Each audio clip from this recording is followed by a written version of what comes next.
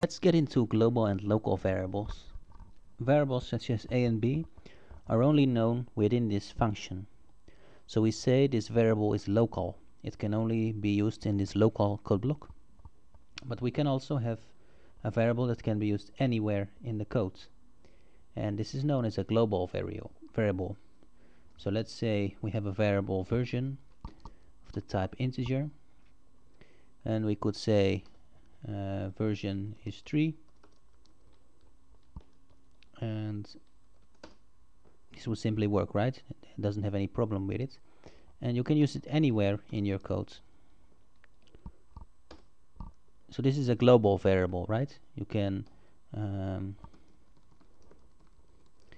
use a global variable in any function you want anywhere in your code. But a local uh, variable is only known within a certain code block. So for example, in this case, a and b are local variables.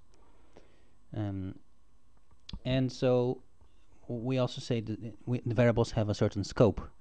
So version has a scope of the entire code, and a and b have a scope of only this part.